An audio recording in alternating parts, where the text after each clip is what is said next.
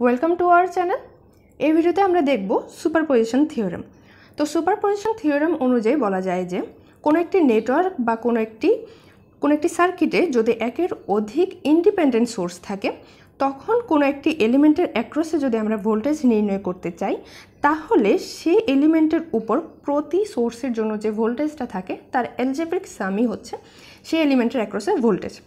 সেটা হচ্ছে, আমরা এই সুপারপজিশন থিওরামটা আরও ইজিলি যদি বুঝতে চাই, তাহলে ধরে নিচ্ছি এ একটি নেটওয়ার্ক এই নেটওয়ার্কে দুইটি ইন্ডিপেন্ডেন্ট সোর্স আছে।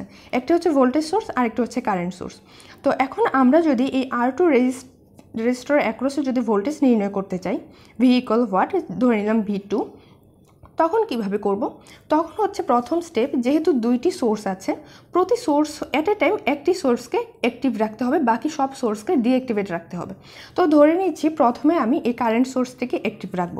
তাহলে প্রথম স্টেপ হবে, প্রথমে প্রথমে একটি সোর্স নিয়ে কাজ করতে হবে। তো এখানে কারেন্ট সোর্সটিকে অ্যাক্টিভ রাখলাম আই আর যে ভোল্টেজ সোর্সটি আছে, সেই ভোল্টেজ সোর্সটি ডিঅ্যাক্টিভেট করে দেবো। ভোল্টেজ সোর্স ডিঅ্যাক্টিভ ডিঅ্যাক্টিভেট করা মানে সেখানে হচ্ছে একটি শর্ট সার্কিট দিয়ে দেবো। তো তখন এরকম একটি সার্কিট দাঁড়াবে। তো আমরা এই ভি টু নির্ণয় করতে চাচ্ছি। তো এই ক্ষেত্রে আমরা যে আমরা, যে থিওরেমগুলো জানি বা সার্কিট সলিউশনের নর্মাল নিয়মে হচ্ছে আমরা সলিউশন করে এখানে একটি ভি টু পাবো। তো এক্ষেত্রে আমরা কি দেখলাম? যে ভোল্টেজ সোর্স যেটা থাকে ভোল্টেজ সোর্স হয়ে যায় শর্ট ওকে এখন পরের স্টেপ কি হবে? এখন পরের স্টেপ হবে আমরা এখানে একটি ভি এর মান পাবো। তো ধরে নিলাম এই মানটা হচ্ছে ভি টু ওয়ান দেন হচ্ছে পরের স্টেপে এই কারেন্ট সোর্স যে রয়েছে কারেন্ট সোর্সকে ডিঅ্যাক্টিভেট করে দেবো, এই ভোল্টেজ সোর্সটাকে অ্যাক্টিভ রাখব। তাহলে কি হবে? তাহলে যে ইকুইভ্যালেন্ট সার্কিটটা থাকবে ভোল্টেজ সোর্সটাকে আমরা আনছি। দেন রেজিস্টর যেটা রয়েছে, সেটা হচ্ছে নর্মালি আমরা ড্র করে নিচ্ছি। কারেন্ট সোর্স যেটা থাকে, কারেন্ট সোর্সকে ডিঅ্যাক্টিভেট করা মানেই হচ্ছে কারেন্ট সোর্সকে ওপেন করে দেওয়া। তো এই পাথটা থাকবে ওপেন, এরকম। তাহলে কি হলো? আর ওয়ান আর আর টু, তো এর অ্যাক্রসে যে ভোল্টেজ থাকবে সেটাই হচ্ছে নির্ণয় করতে হবে, এটা ভি। তো এই ক্ষেত্রে এখন হচ্ছে আমরা আরেকটি ভোল্টেজ পাবো, সেটা হয়ে যায় ভি টু টু। তো দুইটি ভোল্টেজ পেয়ে যাব। তো আমরা লিখতে পারি যে নোটে কারেন্ট সোর্স যেটা থাকে, কারেন্ট সোর্স হয়ে যায় ওপেন। ওকে।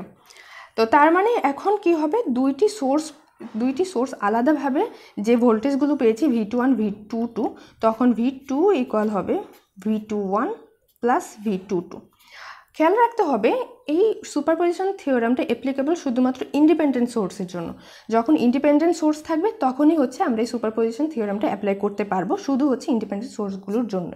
আচ্ছা তো আমরা একটি হচ্ছে যদি উদাহরণ দেখি, তাহলে ব্যাপারটা ক্লিয়ার হয়ে যাবে। তো আমরা সাদিকু স্যারের বইয়ের practice problem four point four solve করব।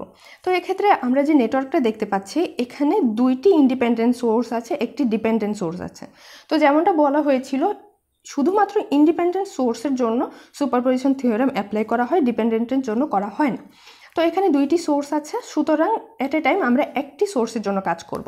তো এক্ষেত্রে বলা হয়েছে ভিএক্স ইকুয়াল হোয়াট তো আমরা হচ্ছে ভিএক্স দেখতে পাচ্ছি, এই পয়েন্টের ভোল্টেজটা হচ্ছে ভিএক্স তো আমাকে এই পয়েন্টের ভোল্টেজ বের করতে হবে। তো প্রথমে আমরা দেখে নিই, প্রথমে আমরা দিয়ে নিব যে ভোল্টেজ সোর্স যেটা আছে, তো ভোল্টেজ সোর্সটাকে আমরা অ্যাক্টিভ রাখছি আর কারেন্ট সোর্সকে ডিঅ্যাক্টিভেট রাখব। তাহলে ভোল্টেজ সোর্সকে আমরা অ্যাক্টিভ রাখলাম যে ইকুইভ্যালেন্ট সার্কিটটা হবে সেটা হচ্ছে ড্র করে নিচ্ছি। তো যেহেতু কারেন্ট সোর্স আমরা ডিঅ্যাক্টিভেট করা মানে ওপেন সার্কিট সুতরাং এখানে কোনো কানেকশন থাকবে না। আর হচ্ছে এভাবে আরেকটি রেজিস্টার আর ইন্ডি আর যে ডিপেন্ডেন্ট সোর্স রয়েছে সেটি তার জায়গা মতোই থাকবে, এখানে কোনো চেঞ্জ হবে না।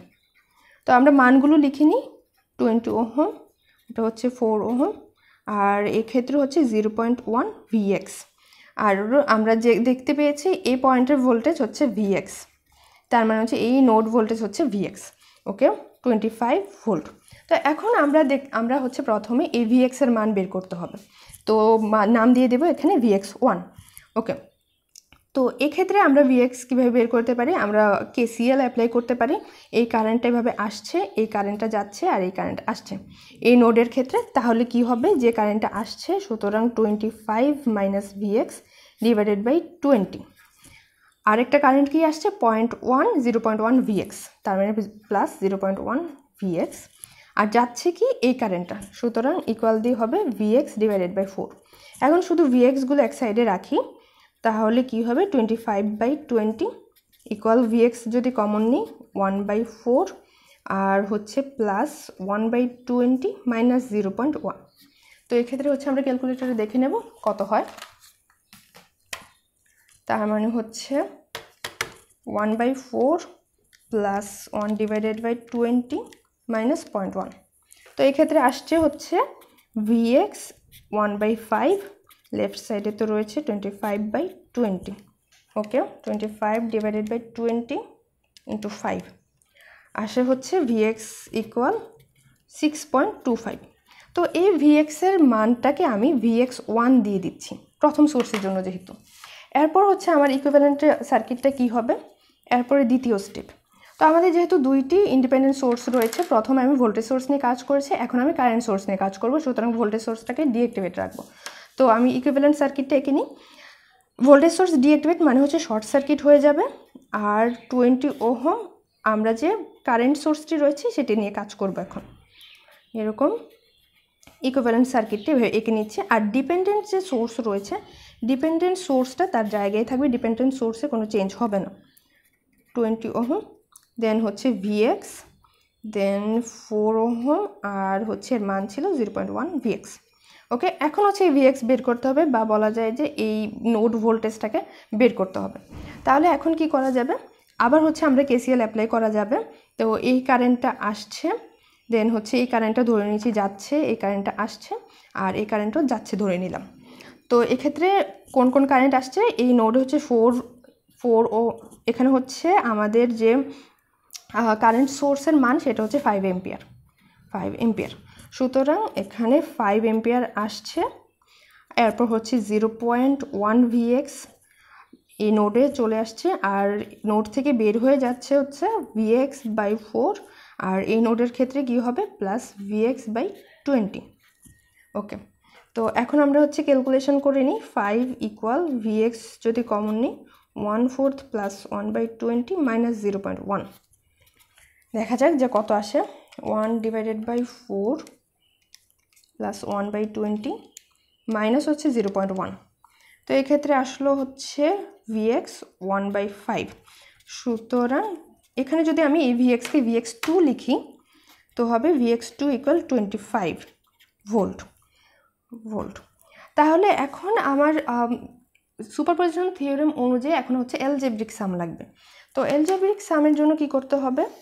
আমার যে দুটি সোর্সের জন্য যে দুটি ভোল্টেজ পেয়েছি ভিএক্স ওয়ান ভিএক্স টু তার হচ্ছে এলজেব্রিক সাম মানে হচ্ছে যোগ করতে হবে।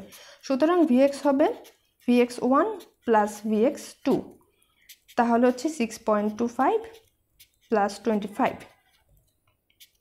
তাহলে আসবে thirty one point two five volt এটাই হচ্ছে ভিএক্সের মান।